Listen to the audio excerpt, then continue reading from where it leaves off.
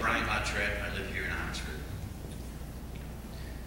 I've heard people angry because they've signed a lease for five dollars an acre when some had signed leases for twenty-four hundred dollars an acre. I've heard people complain that they signed easements for three dollars a foot because some have signed it for twenty-seven dollars a foot. Right or wrong, they were personal choices. At the last Oxford Town Board meeting, an individual spoke up about the unfairness of compulsory integration. I agree that compulsory integration, a form of eminent domain, should be an area of concern. Not perfect, especially if you're opposed to natural gas harvesting. It effectively takes away the landowner's right to choose. It is also important to recognize that compulsory integration is governed by the state and not the local authority. It is not an issue that can be controlled locally. But the bottom line is they are justly compensated what is taken by the law, the state. Okay? A moratorium solves all these problems I just mentioned because it takes away your deeded rights, okay, for free.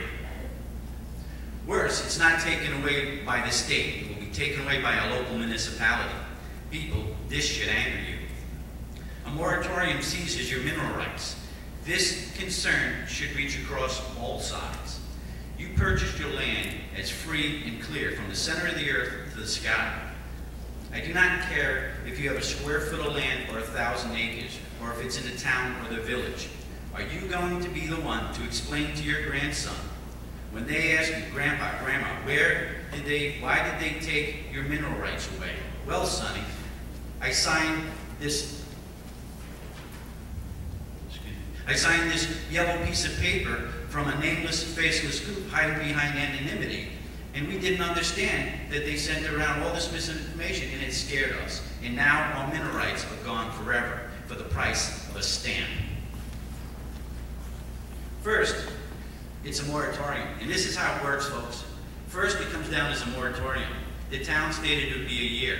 This yellow sheet of paper is pushing for 24 months. We have two years. Then we have a ban okay? And your mineral rights are gone. Again, this doesn't matter what side. This reaches across all. We pay taxes on this land. Are we going to be reimbursed at the beginning of our deeds? This is crazy. This is our deeded rights, and we all need to protect them. And a moratorium takes that away.